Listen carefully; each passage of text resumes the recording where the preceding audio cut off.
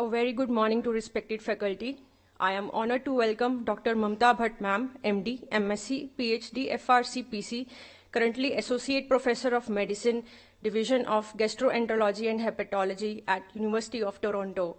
Dr. Mamatha Bhat Ma'am has very vast experience of study in the field of microbiology and immunology, medicine, family medicine, internal medicine, and gastroenterology. She has been clinical investigator program, FRCPC. She has achieved various honors of experimental medicine, transplant hepatology fellow, PhD in medical biophysics. She has contributions to medical science in the form of 22 publications and ongoing research in many projects. She has special interest in application of artificial intelligence in liver transplant recipients. Ma'am is doing research program dedicated to improving the long-term survival of liver transplant recipients using machine learning and bioinformatic tools. I request ma'am to present the lecture.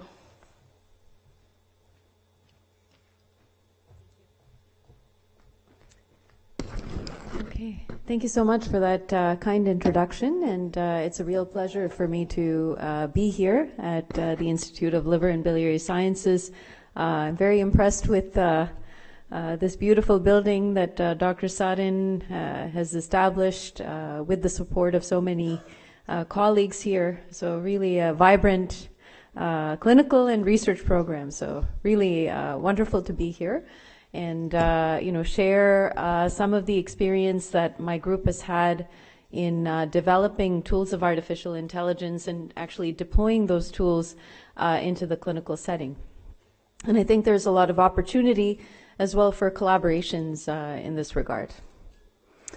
So these are my disclosures. Um, I'll start off by discussing uh, why machine learning in liver disease and transplantation I'll really be focusing on some applications in liver transplantation, including predicting dynamic trajectories on the waitlist, uh, optimizing post-transplant patient survival, and optimizing graft survival in liver transplant recipients. And so I, I think that um, you will all uh, appreciate, you know, how much we deal with patterns in data as hepatologists. So uh, really the inspiration uh, for my starting to work with AI came around seven years ago. So I was just, you know, completing my PhD. I completed my PhD at the end of 2018, but I was starting to hear about uh, the applications of artificial intelligence in skin cancer and uh, in diabetic retinopathy recognition. So using imaging data to uh, diagnose these uh, um, you know specific conditions, and uh, these were published in JAMA that year in 2017, around that time. And so um, it really inspired me to then look into uh, applications of artificial intelligence in hepatology because I recognized that as a hepatologist, I was constantly working with lots of data, looking at patterns in data. But the reality is that the human brain can only really account for four variables at a time, including longitudinal changes in those variables. So you may realize, you know, when you see a given patient in front of you, you will be considering, uh, wanting to consider several variables in that patient and longitudinal changes, meaning the history of those changes over time, their clinical history. So all of these parameters uh, need to be considered to generate a personalized prediction for that given patient in front of you. Now, the reality is that we as hepatologists, we are trying to subconsciously integrate these data to uh, generate these personalized predictions, but we are unable to, you know, truly uh, take into account the really the tens or hundreds of variables that really have an impact ultimately on uh, a given patient's uh, diagnosis and prognosis.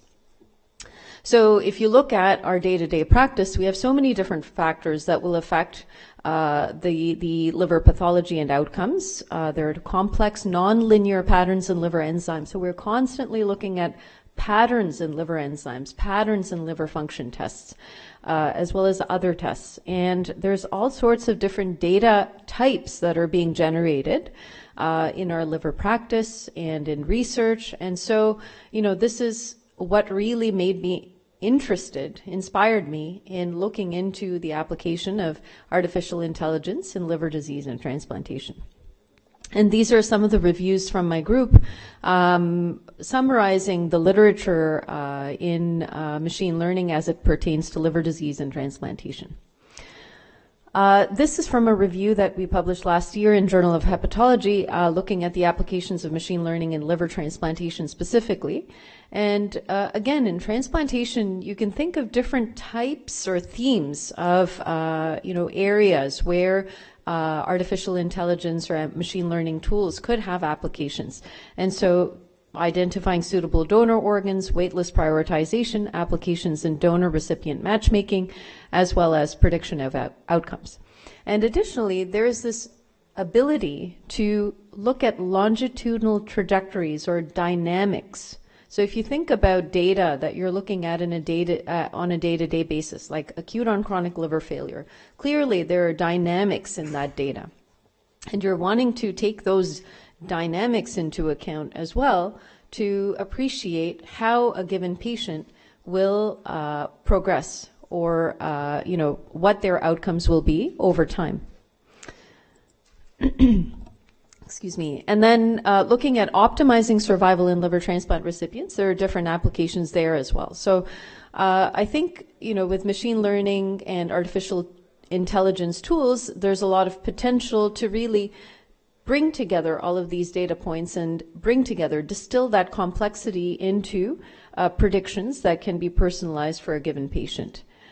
So I'm kind of I'm skimming over a bit of the AI part of uh, things. Uh, I think many are somewhat aware of uh, what artificial intelligence is and machine learning is. So I didn't really delve into the basics. But what I would like to do in this talk is show you uh, what my group has done in terms of developing methods that are specifically suited for a given clinical question. So um, I've been working very closely with computer science professors at the University of Toronto to uh, generate methods that are ideally suited for a specific question. Specific question. So, what computer scientists are able to do is develop methods if they understand the clinical question very well then they are able to devise new methods, develop new methods that can suit that specific question. So they won't just use off the shelf machine learning methods, they will actually develop new tools that are suited to the question. And I would say that this has been, say, in my program's case, you know, it really has required a lot of learning each other's language. So my PhD was in medical biophysics, so I have some you know, coding background, so in bioinformatics as well as uh, molecular biology.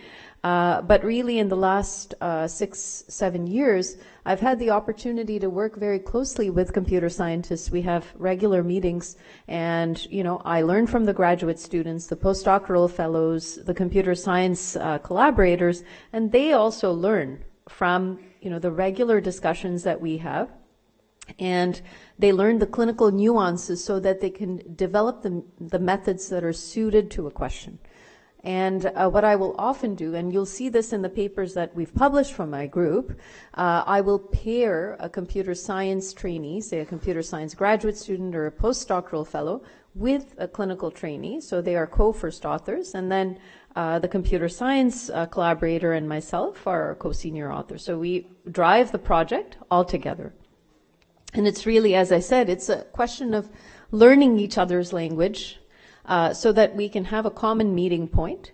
And uh, I would say, you know, I will also uh, have the computer science students sometimes shadow me in the clinic so that they understand what is the reason, what is the inspiration for the question that they're studying. Because if they can understand how important, you know, the outcome of their project will be, what impact it could have on patients and uh, you know survival and their lives, um, I think that will particularly inspire them in their work. So I think that's very important because often computer scientists will not have that you know nuanced knowledge, and so that is critical. So uh, the first project I'll talk about is uh, predicting dynamic trajectories on the waitlist using machine learning. And so, uh, in close collaboration with a computer science colleague, uh, we have developed a nonlinear dynamic model of end stage liver disease for accurate and fair risk assessment. So, the MELD sodium, as you know, um, has been shown to disadvantage female patients. There is a disadvantage to patients with primary biliary cholangitis, and over time, there's been a significant shift in the underlying cohort. So, whereas the MELD was developed at a time when hepatitis C was the dominant indication for transplant, so parenchymal disease, um, this over time has shifted to alcoholic liver disease and metabolic associated uh, steatotic liver disease. And so there has been a significant shift over time in the cohort. Uh, additionally, as I mentioned, cholestatic liver disease patients are disadvantaged because the bilirubin is relatively underweighted as compared to the INR and creatinine, which are uh, more heavily weighted because parenchymal liver disease uh, tends to manifest, you know, in terms of severity of disease with a higher INR and creatinine. So uh, certainly, over time, it has been noted that there are significant inequities in liver transplant allocation. Now, I should say that this is all in the context of a deceased donor allocation system. I realize that this isn't, you know, f- fully pertinent to the context here, but it just gives you a sense of, you know, how um, we recognize these inequities and thought that uh, the development of an AI method uh, could address some of these inequities. And so we sought to address this. So um, the, this was the question we asked ourselves because we realized that in our program at the University Health Network in Toronto, that women were especially disadvantaged and that they were reliant on living donor liver transplantation. So we published that work in JAMA Surgery a few years ago, and that was really my inspiration because I was seeing this in practice. I was seeing that uh, you know women were tending to pass away on the waiting list uh, more so than men, uh, and so they were unable to attract deceased donor organ offers uh, to the same extent. They had uh, twice less a chance of attracting a deceased donor organ offer. But you know, having the access to living donor liver transplantation at least gave them an equivalent access to transplant, but really that's not the solution. So we need to, you know, look at how we can make deceased donor organ allocation more fair uh, overall. So regardless of, uh, you know, uh, sex, indication for uh, transplant, etc. so our hypothesis was that some of the present inequities stems from inaccurate modeling. So the MELD sodium is a linear functional form, uh, and so we thought that uh, we would develop an algorithm that could better reflect the dynamics. So, um, machine learning is overall about learning equations from data, and so we uh, were interested in developing a deep learning method that could learn complex equations from data. And so, I think you're all familiar with uh, deep learning applications uh, in terms of imaging, uh, data, text-to-image generation, and conversational agents. And in this case, what we wanted to do was develop a deep learning method get, that could integrate the longitudinal changes and dynamics over time. So we considered over 53,000 patients listed for liver transplantation in the United States since 2016, uh, adult patients with decompensated decompensated cirrhosis and without exception points. So we excluded those patients who had been listed for hepatocellular carcinoma, hepatopulmonary syndrome, and other exception point indications. So the reason for exception points, as you're aware, is because um, there is such complexity in terms of indications for transplant, and those patients uh, cannot have their severity of disease reflected by blood tests. Excuse me. And so we considered 24 static and time varying features per patient. This was the average, uh, say, uh, characteristics. These were the average characteristics uh, of this data set and cohort. And then we considered uh, a deep learning version of the Cox proportional hazards model. So this is nonlinear survival analysis, but then added a variable at each longitudinal time point on the wait list to account for first order and second order rate of change. So velocity and acceleration in uh, the different blood test variables over time. So if you consider the INR, the bilirubin, the creatinine. Um, so as you know, uh, I mean, uh, all of you have so much experience with ACLF, but uh, you know, if you consider someone who had a MELD sodium of 15 two weeks ago and then has had a rapid rise in their MELD sodium over a short period of time to 30, um, then they are going to be much sicker overall as compared to someone who has had their MELD sodium kind of stable at 28 to 30 over those last two weeks. So this is an important factor in terms of reflecting the severity of uh, a patient's illness. And so uh, ultimately, we were using a nonlinear neural network model on a more recent cohort of patients, including different covariates, including the uh, diagnosis, the functional status, the ascites, and then also incorporating the rate of change covariates uh, at each time point on the waitlist. So there was an average of 12 time points on the waitlist. So we considered all those different time points. Then we evaluated the correspondence between rank ordering by risk score and rank ordering by time of death within 90 days. And this is similar to an area under the ROC curve for right-censored patients.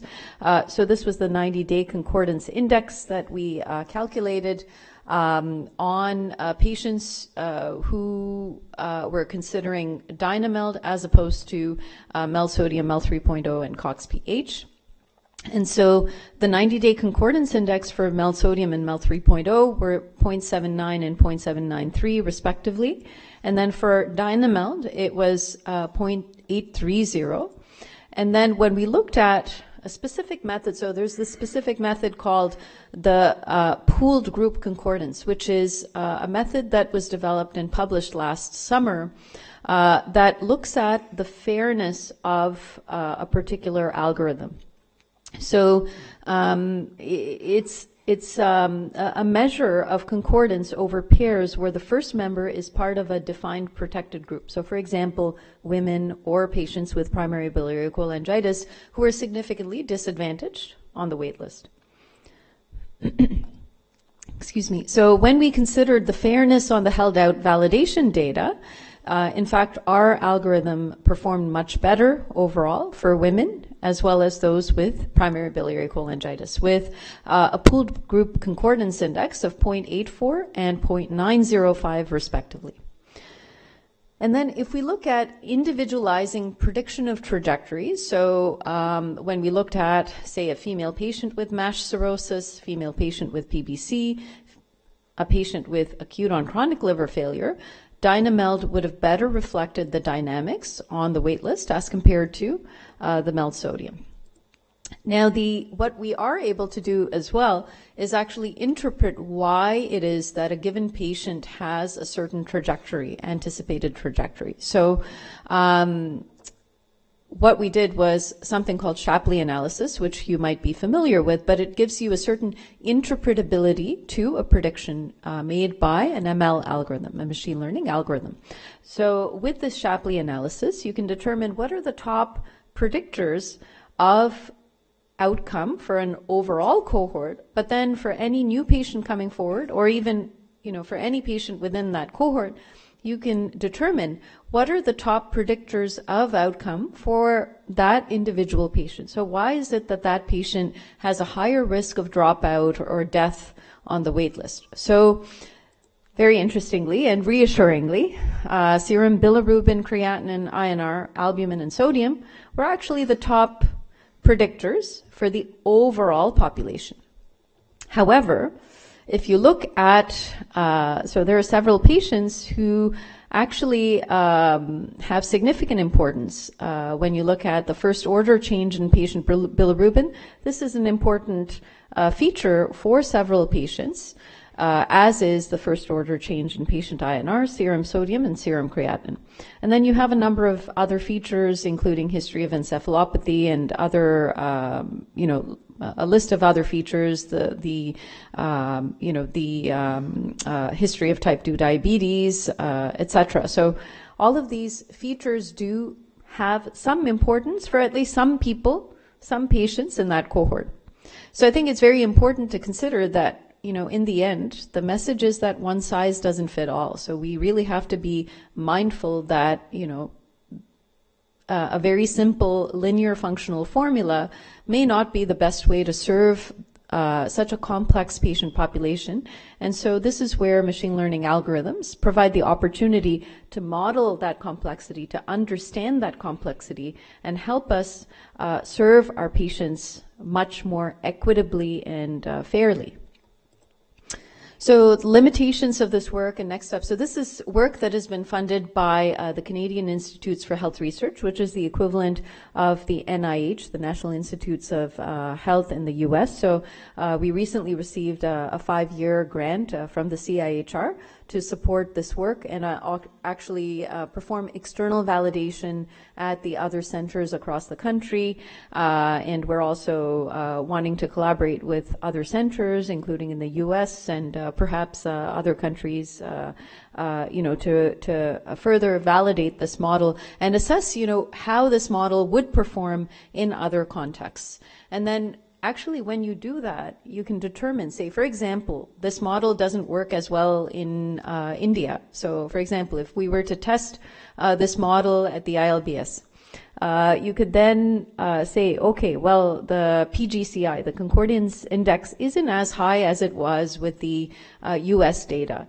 Why is that? So you can actually identify what are the reasons, the environmental factors or the features, what are the features that are playing an important role as to why this algorithm is not performing as well at ILBS as compared to the US.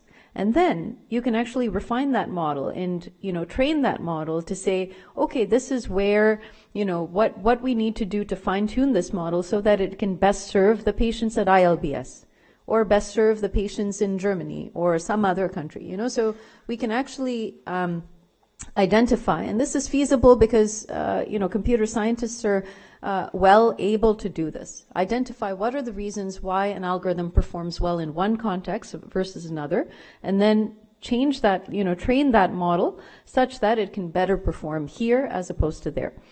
So limitations of this work, computationally costly to train large neural networks. This approach only tackles demand side inequity, doesn't tackle the supply side inequities. So organ, uh, uh, attracting an organ offer. Uh, so next steps are external validation and incorporating patients with exception points.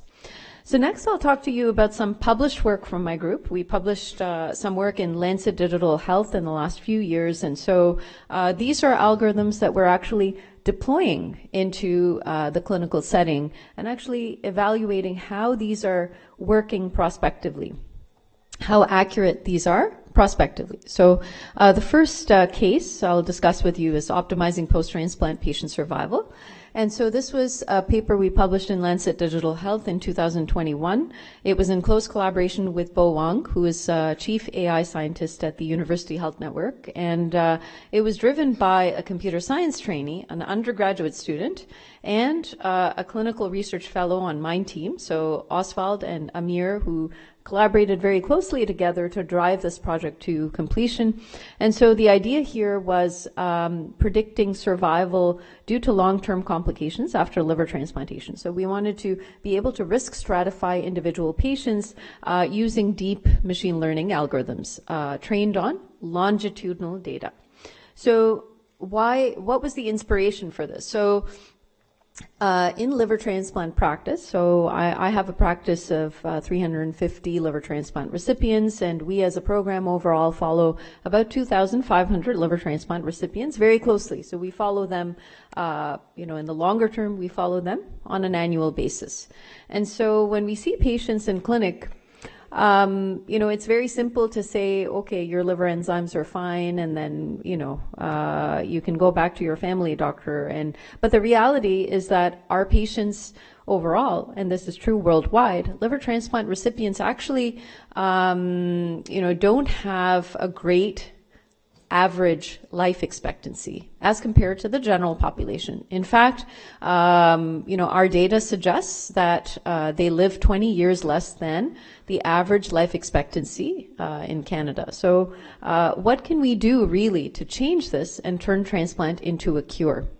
The reality is that the long-term survival is compromised by a heightened incidence of cancer. So obviously when patients are on immunosuppression, you're suppressing the cancer sensing mechanism of the immune system. So they're unable to, so uh, I'm sure many, many of you are aware of this, but, you know, patients who uh, have received a transplant have a much higher risk of cancer. So any abnormal cells are not recognized by the immune system as effectively.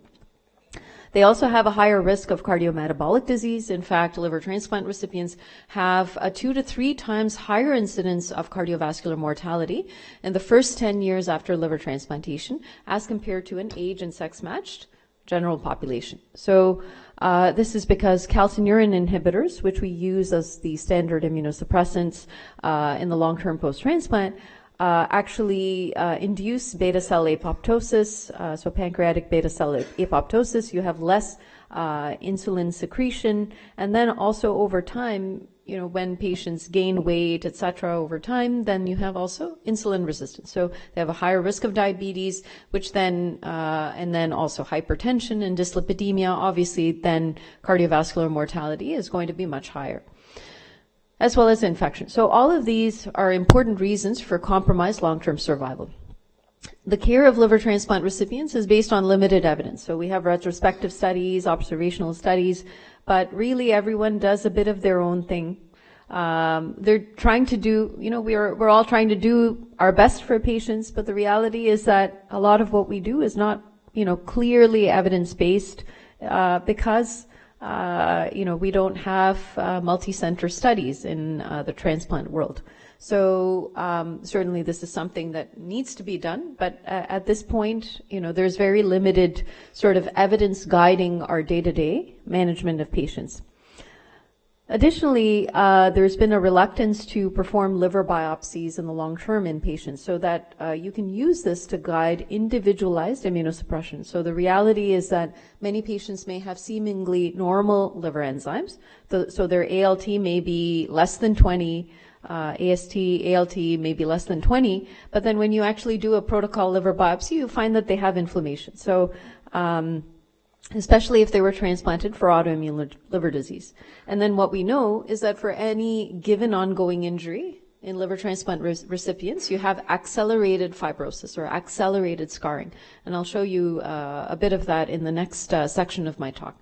So overall, I think there's a lot of work we need to do uh, to improve long-term outcomes. In fact, this paper published in Annals of Surgery in 2019 showed that long-term survival beyond a year post-transplant has not improved in the last 30 years. So if you look at one year survival, it's improved from 65% to 95% one year survival. But if you look at long-term survival beyond a year, it has not significantly improved. So you can see that here.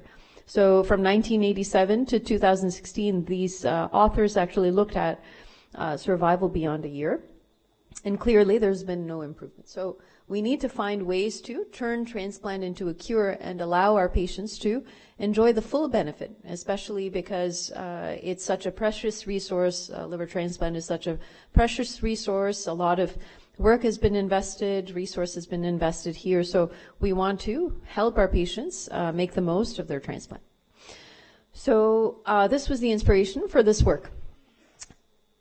Our idea was to develop a more personalized risk calculator for managing long-term transplant care. We evaluated various deep machine learning algorithms to predict mortality uh, post-transplant, incorporated longitudinal data over time, and classified patients into major risk categories. So um, we used the Scientific Registry of Transplant Recipients in the U.S., so over 42,000 eligible liver transplant recipients with longitudinal data available.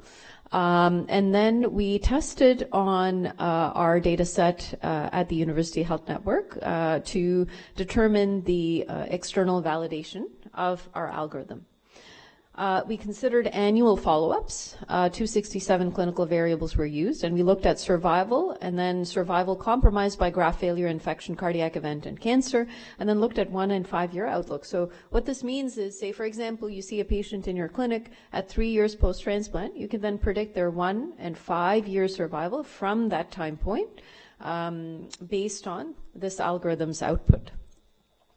So the best performing model in this uh, in our experiment in the end was the transformer model. So this is a heavy duty deep machine learning model that is able to integrate the complexity of longitudinal data over time, the patterns and interrelationships in the different variables. And uh, so this had uh, an overall area under the curve ranging from uh, 0.80 to 0.81 for uh, the different uh, types of complications uh, post-transplant, and then for overall survival, 0.77 was the AUC at one year. And then five-year AUC was 0.71, and uh, cardiac, graft failure, cancer, and infection-associated uh, mortality were predicted with an AUC ranging from 0.72 to 0.76. So this was in comparison to logistic regression with an AUC of 0.71 and 0.648, one in five years. We then did um, external validation with uh, our UHN data set and similar performance was obtained. So this was very reassuring because certainly many people have brought up, you know, with these large registries, uh, sometimes you have concerns uh, about uh, how accurate the data is. Now, the Scientific Registry of Transplant Recipients is extensively used for research, um, but uh, the very reassuring thing was that we obtained similar performance with our more granular data set at UHN.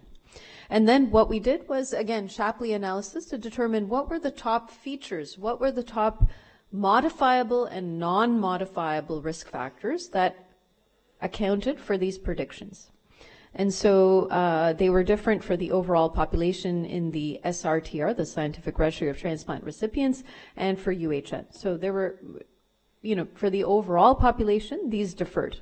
But what we can do now is then obtain for each individual patient coming forward, we can then obtain updated one and five year probability of each outcome at every follow up. What are the ranked features? So what are the modifiable and non-modifiable risk factors? So modifiable means, say, for example, a tacrolimus trough level of a certain degree. You know, you could then consider, okay, so this patient, you know, my patient has a higher risk of cardiovascular uh, disease and associated mortality. So if you know, the presence of sirolimus or uh, tacrolimus is an important factor that is contributing. You look at the weight of that factor in that prediction for that given patient, then you can say, okay, well, maybe we need to consider if it is possible, if our liver transplant, if the graft will allow us, maybe we should try to reduce the immunosuppression uh, and see if that would, um, you know, optimize their trajectory after transplant. Additionally, you can empower your patient in their care. So, you know, what often happens is you see your patient, uh, you know, at three years post transplant, and then you say you you know, we'll tell them, okay, well, you have, uh, you know, your body mass index has increased over time. Now you've developed diabetes. Um, you do have a higher risk of cardiovascular event. You know, we need to pay special attention to that. But for our patients, it's not tangible. You know, you just give them this information. You don't have something tangible, like this is your percentage risk, you know. So uh, then often what happens is people will leave and then they'll come back the next year and unfortunately they may have gained more weight or they may have had worsening of their diabetes because it doesn't hit home that actually, you know, this is a, an important problem and it is going to severely compromise their long-term survival. So it doesn't really uh, strike them. So if you can give them solid information that will empower them in their care. So now they know, okay, I need to take care of this, you know, I need to do this homework for next time. You know, so if you can engage your patient in their care, I think working together with your patient is very helpful ultimately to improving their survival and, you know, feeling that they have some control over uh, their health I think is very important emotionally and psychologically. So, um, so now actually we are tying in uh, these predictions to our standard operating procedures for post-transplant care based on risk. And we actually have a, a dashboard. Uh, I haven't shown the exact dashboard that we have, but it is deploying from our electronic medical record system, which is called EPIC. And so it's deploying from there. Uh, I work very closely with a data engineering team, a data scientist who is actually guiding this deployment. And what this means is data is uh, extracted from Epic, uh, transferred to a cloud, and then from the cloud, it is fed into the dashboard to provide personalized predictions for uh, the patient. Uh, and then so you can give them, you know, this is, these are my concerns in terms of uh, your long-term outlook, and these are the factors that are playing a role in this prediction. So what can we do? How can we work together to improve your long-term health? So these are, you know, predictions that we can provide to patients, and actually we're deploying this now into the clinical setting. We're interested in evaluating in the long term uh, what this means for uh, at least you know, short-term outcomes, so uh, including, say, readmission to hospital, uh, any events uh, such as cardiovascular events, infection, etc. So we're wanting to look at, you know, the whole holistic care of our patient and whether this algorithm uh, can serve them and help, uh, you know, optimize their health.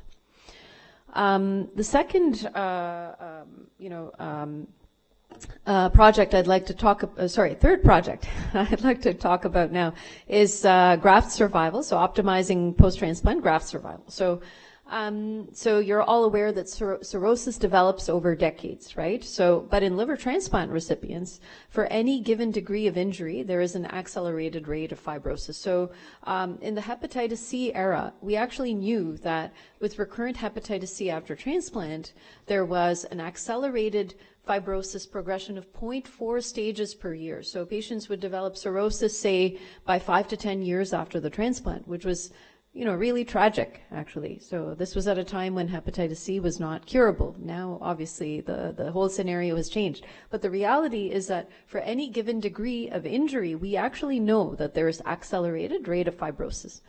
Mechanistically speaking, I mean, I'm very interested in understanding why that is. I suspect that there are a few different factors at play. And in fact, we identified that in this uh, study, but I think we also need to do some, you know, more mechanistic uh, investigations into this uh, by analyzing patient samples. But I suspect that some of it is donor age and then a decreased ability to regenerate and heal with any ongoing injury. So there are going to be different factors that will account for this accelerated rate of fibrosis. But this then means that we need to act uh, early to prevent this progression to cirrhosis. So what are the diagnostic options for fibrosis? I mean, you're well aware of, uh, you know, liver biopsy and then MR elastography. So these are all methods that will allow us to uh, identify the presence of fibrosis, um, both invasively and non-invasively. Um, so the you know overall uh, i think understanding a person's trajectory in terms of fibrosis i think will be very important to ensure that they can optimize the health of their graft in the long term. So um, uh, as I start talking about that project, I should also mention we had this other paper which was published also in Lancet Digital Health in 2022, uh, which was for the effective de- detection of advanced hepatic fibrosis. And so uh, here, uh, this was driven by Soren Sarvastani, who's an undergraduate student, and with co uh, uh, principal investigator Anna Goldenberg. Uh, so we looked at various parameters, clinical par- parameters um, in patients at the Toronto Centre for Liver Disease. So this was in close collaboration with my colleague Keyur Patel and Giada Sebastiani at McGill. And so um, Soren then trained different uh, supervised machine learning algorithms. So supervised machine learning algorithms basically give you a binary outcome. So yes or no. So advanced fibrosis or no uh, fibrosis or minimal fibrosis.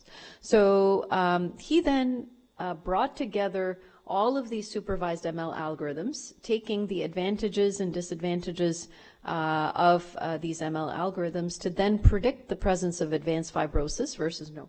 So I mention this because I think most people here are, uh, you know, uh, going to be interested in, say, um, diagnosis or detection of advanced hepatic fibrosis and chronic liver disease. But then this served as the inspiration for some other work that we did, uh, which I'll get into. Um, so here, the um, ensemble algorithm, which was, as I said, a combination of the, diff- the different supervised ML algorithms, uh, had a very good sensitivity of 86, 85.5%, and uh, the area under the ROC curve was 87, uh, AUPRC, so precision ROC curve was 87.8. Um, so then we looked at uh, a deep learning framework for the dynamic diagnosis of graft fibrosis after, after liver transplantation using longitudinal data. So uh, this was driven by uh, Amir, a clinical research fellow, as well as uh, Divya Sharma, who is a postdoctoral computer science uh, um, uh, fellow, who did her PhD actually at IIT in Jaipur. so this was with co um, uh, co-senior author Wei Xu. And so uh, Divya developed a deep machine learning model, a new model, actually, uh, which she called weighted long short-term memory network. So there is a, lo- standard deep machine learning algorithm called long short-term memory network, which she actually refined uh, into a new method, uh, considering the nuances of our data set. So she considered longitudinal, demographic, clinical, and laboratory test variables to detect significant fibrosis, fibrosis stage two or greater, um, comparing uh, this to reference method of liver biopsy. So a total of 29 variables were considered. So you can see uh, all of these here. And we considered the longitudinal changes in these variables over time prior to the biopsy. Um, so these were excuse me. And then we compared uh, the performance of the algorithm to APRI and FIB4. Uh, we considered uh, 1,893 liver biopsies, um, of which uh, 1744 liver biopsies were in the uh, training set. Um, and then uh, 149 in the validation set. This was divided, the 1744 number was divided into 70% training and 30% test set. And then uh, we also compared the performance to transient elastography. So she trained conventional machine learning algorithms, including all of these, uh, so more binary uh, uh outcome predictors, so supervised ML. And then she also trained deep machine learning algorithms on the longitudinal data for prediction of uh, advanced fibrosis in the graft. And then she uh, determined that actually it would be optimal to add uh, a certain feature to this algorithm in order to optimize its performance. And so this weighted long short-term memory network method is better able to handle missing data and it improves the LSTM performance through a certain weight loss function to minimize bias. So basically she upweighted the cases in comparison to the controls because the cases were um, lower, significantly lower in comparison to the controls. So uh, the presence of advanced fibrosis. So this allowed uh, better training on the cases and optimized performance of the algorithm. And so uh, this also was published in Lancet Digital Health, uh, which uh, you know became my favorite journal, I think. Uh, so with three publications in that same journal. Uh, so uh, with this uh, algorithm, we had an AUC of 0.798 uh, and 100% determinants. Sensitivity was 0.79, specificity 0.81. Uh, and this was in comparison to FIB4 and APRI with AUC of 0.65 and 0.68, respectively. And then if we looked at the top ranked features for the overall population, recipient age was topmost transplant primary indication, donor age, and then various other parameters uh, further down. So this is for the overall cohort, but then for any new patient stepping forward, you could then provide a prediction as to whether you know someone is uh, likely to have advanced fibrosis, and then why is it that that patient is suspected to have advanced fibrosis.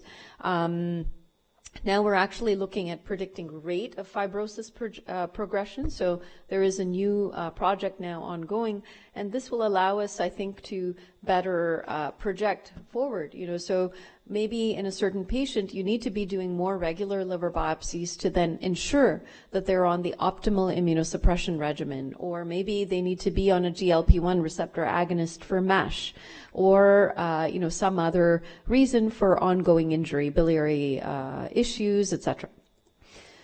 Okay, uh, next, uh, I think what I'll do is conclude with uh, an interesting new project that we have, and uh, this is now in submission. So if we look at uh, patients uh, post-transplant, certainly over 50% will have increased liver enzymes at some point in their liver transplant life, in their second life. And so these uh, reasons for liver enzyme elevation are varied. Normally, we will do an ultrasound with Dopplers followed by uh, liver biopsy as gold standard for diagnosis. But this is invasive And so it's not realistic to do liver biopsies longitudinally. And so uh, we've been looking at developing uh, different methods to be able to non-invasively diagnose. So uh, one method is uh, this Graft IQ model, which uh, Divya Sharma uh, again has developed for rapid determination of diagnosis. So this is trained on clinical and laboratory data to identify graft pathology, um, and we also are looking at circulating DNA methylation patterns on circulating DNA to further refine. But what she has done as a first step is trained on over 7,000 liver graft biopsies, uh, looking at longitudinal features over the week preceding biopsy, and patients were divided based on histological diagnosis. So the best performing uh, algorithm here was a neural network model, ANN, artificial neural network, with an AUC of 0.866.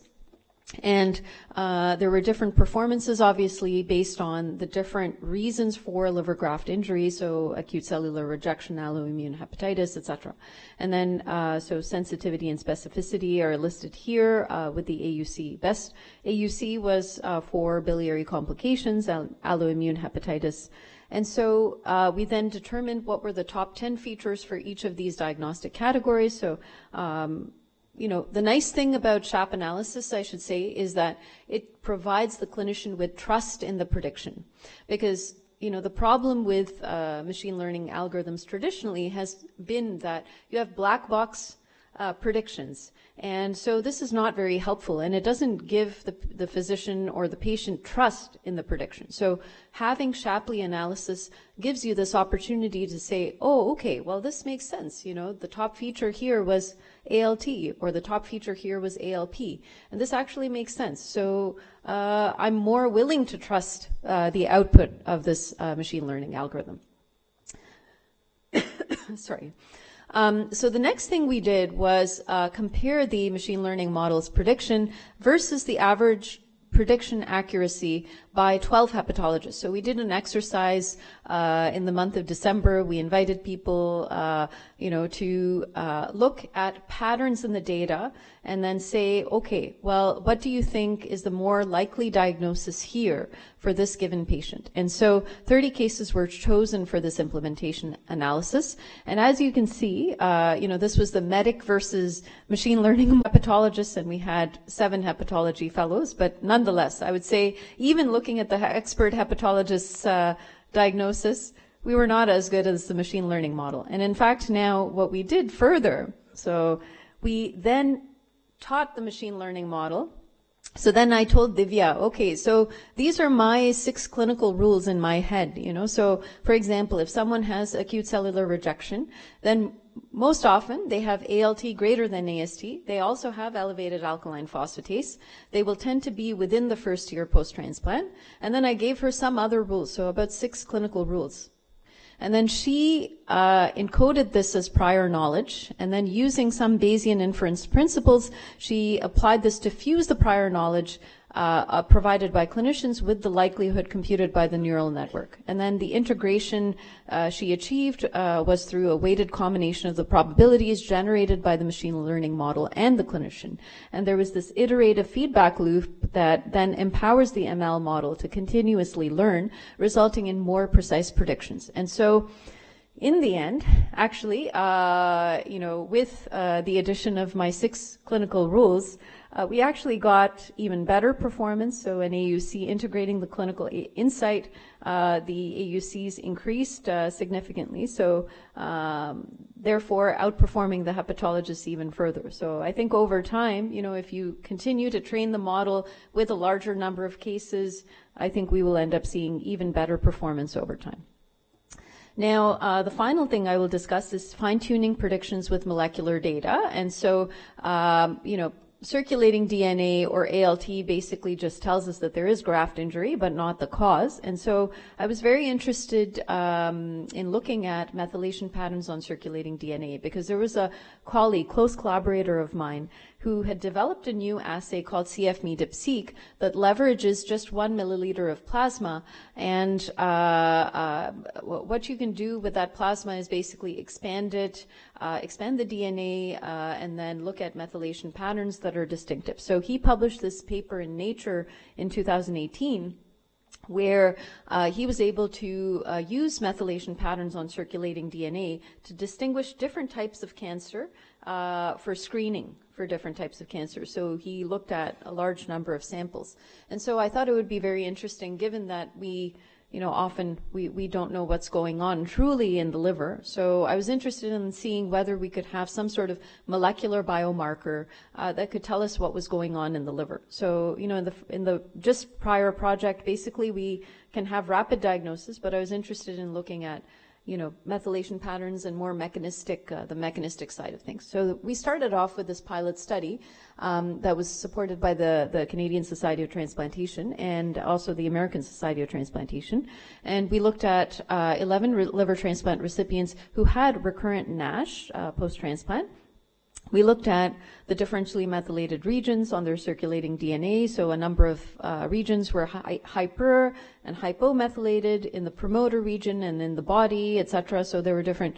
Uh, I won't get into the details of this, but in the end, the DMRs, or the differentially methylated regions, in those patients who had uh, NASH post-transplant, uh, had uh, DMRs and those genes involved in lipid metabolism, or and particularly lipolysis function. So this was very interesting, and you know, again, gives you some trust in um, uh, what we found.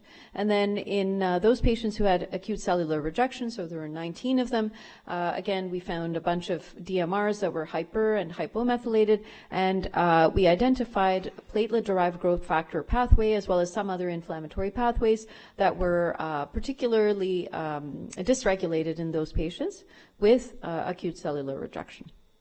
Then uh, a postdoctoral fellow in my lab who uh, is, you know, very skilled at bringing together clinical data and omics data, then brought everything together. So uh, those 43 patients, basically she brought together the top 300 DMRs along with eight clinical variables. So um, age, sex, diabetes status, ALT, AST, ALP, uh, were uh, among the eight variables that we considered, and uh, she divided this uh, data set into training and test set, and uh, she was able to then classify uh, these patients into the correct diagnostic category. So here you can see a principal component analysis, and then how you know the different populations are divided based on the differentially methylated regions. So there's a clear distinction among the three categories of patients.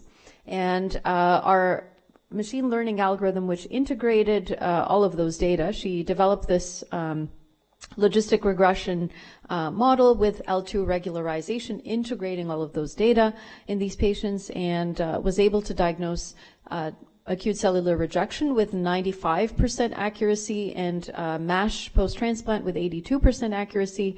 And uh, then she used SHAP analysis to determine what was the reason for these predictions in um, the overall population.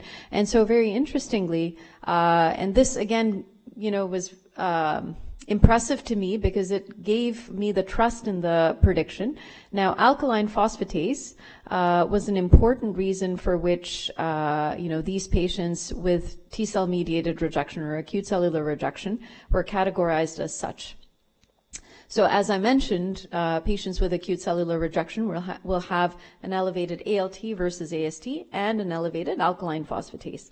But patients with MASH post-transplant will not have elevated alkaline phosphatase. So that was the key distinguishing factor, number one. Then we had a bunch of differentially methylated regions and then some other clinical parameters. But uh, what I liked was that this, you know, was clinically meaningful. So it gave me trust in the prediction of this algorithm. And so we are uh, actually now expanding this uh, uh, study. Uh, we're performing external validation on a large number of samples uh, from Hanover, uh, from our close collaborators there. So overall, I think I'll conclude now. Um, I, I, believe that um, tools of artificial intelligence hold great promise to personalize the care of liver transplant patients, liver patients, uh, it's based on interrelationships and hidden patterns and complex data. There's so much data that we generate, uh, that our patients generate on a day-to-day basis. Uh, deep machine learning algorithms are most helpful when we consider historical and longitudinal data in informing prediction of the future. Uh, and then finally, I think the next frontier is really clinical deployment and external validation of these algorithms to ensure that uh, they can have benefit not just at one institution, but really can be of broader benefit. And there, there's going to be a lot of, say, looking at fine tuning a model for a given environment and making sure that, you know, it is going to be useful for patients across the world, worldwide, uh, regardless of their environment. So, um, I'd like to conclude by acknowledging my key collaborators in uh, computer science, uh, members of the Transplant AI Initiative, my translational research team, and co-supervised computer science uh, trainees and clinical trainees. And these are uh, my group's uh, funding sources, including the CIHR and uh, other funding sources. So thanks so much for your attention, and happy to take questions.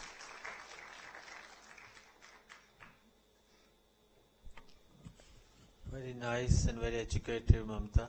And uh, thank you and welcome again to ILBS. Any questions or comments, uh, please? Uh, hi, Mamatha. That was amazing work which you just showed us. Thank you. That, uh, I just had few questions. One you already said is the need of external validation, whether the algorithms are performing the same way in other centers. And the second thing mm-hmm. is, have you started using in your clinical practice the algorithms which you developed at your center? And do you see that they perform well uh, against uh, mm-hmm. pathology or so your thing? Yeah. Okay. Thank you. Uh, those are both excellent questions. Thank you. So I think. Um, one thing again to keep in mind, as I mentioned, you know, uh, many people have used off-the-shelf machine learning tools in their projects, uh, and uh, they may uh, train that algorithm on their data set and performs very well. But then when they try to externally validate, it doesn't work. And this is often what is happening in the machine learning world. Uh, but the reality is that, um, I mean, this is based on my own experience. Of course, this is my own perspective. Different people will have different perspectives. But um, I think that, uh, you know, work like this requires very close collaboration with computer scientists who know what they're doing. So who are academics because academics will be very interested in developing new methods as opposed to just working with off the shelf methods. So sometimes, you know, biostatisticians will, uh, you know, try to develop ML algorithms or they will train established algorithms. But I think the reality is that our data is very com- complex. I mean, re- regardless of the medical field, I think there's so, so much complexity in the data. In order to really reflect that complexity, I think we need to develop methods that are best suited for the clinical nuances of the question. So uh, the reason for you know a lack of external validation for some of these studies, I think, is because people have not made that effort to really develop a model that is best suited for the clinical nuances of the question.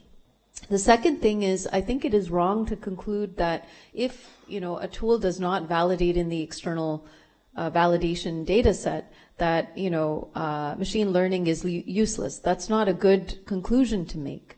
You know, the the conclusion should be that like I need to seek, I need to understand why is it that that model is not working, and understand what are the environmental factors that are leading to that decreased performance, and then what can we do to improve its performance in that given context. So I acknowledge that you know whatever I've trained at UHN will not perform the same way at ILBS or at uh, Mayo Clinic or some other, you know, program. because every center will have its own nuances. And then again, another issue is that every physician may have their own practices. So there's so much complexity in, uh, the data, and we we will be limited, uh, you know, um, in terms of identifying what are the factors that are contributing to decreased performance, because there are going to be some of these, you know, sort of nuances, uh, people practicing a bit differently, uh, we, even within an institution. Uh, say, for example, a surgeon uh, may uh, take a liver offer, but then another surgeon may not take that liver offer because of their own personal experience. Maybe the last case they did, you know, adversely impacted their judgment on this new offer. You know, maybe they feel like this is not a good organ offer as compared to their colleague who is willing to accept that offer. So there are going to be some of these things that, you know, we can't really feed into the algorithm. So that's that's one issue. And then uh, I think what was the the second question? Oh, uh, am I actually? Oh, are we Yeah, deploying the tools? Right. At your center Oh, yeah, yeah, yeah. how it- Yeah.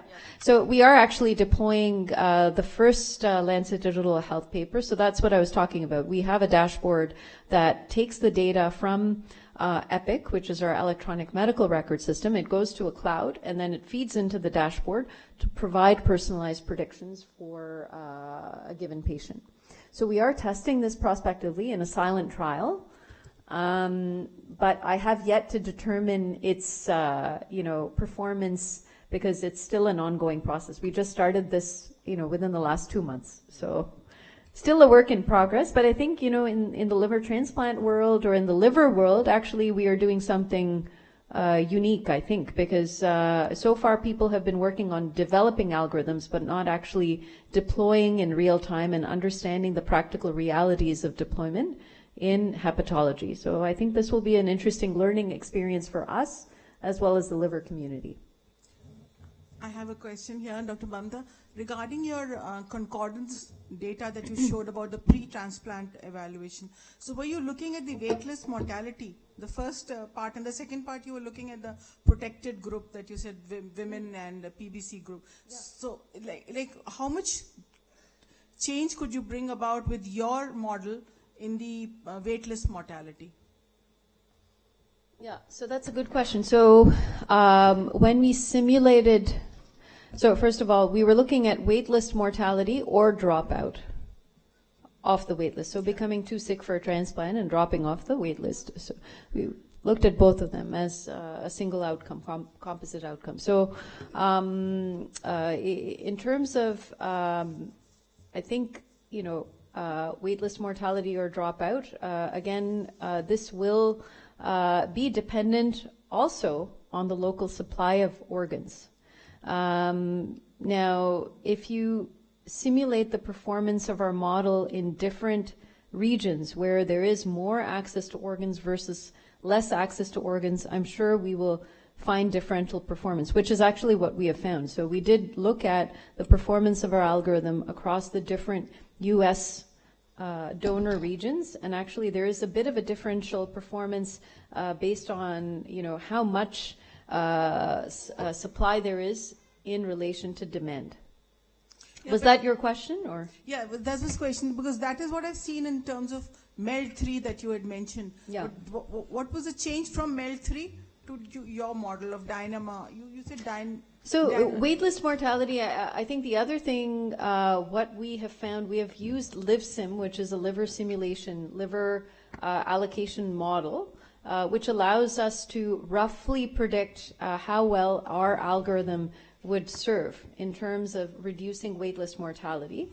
And we did find, I, I didn't show that data because uh, that experiment is still a bit in progress. So, but uh, we, we did find that actually our uh, algorithm would be projected to decrease waitlist mortality. You can also consider that some patients who are now what we call over advantaged are going to be reclassified into a lower category.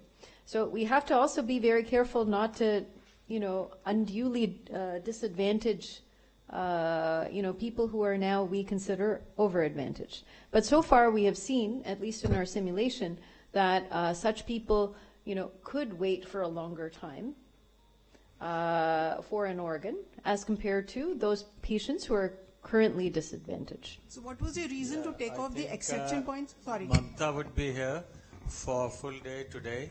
She's visiting us, so Professor Mamatha Bhat is available for the day, and also maybe on the 7th of, uh, Mm-hmm.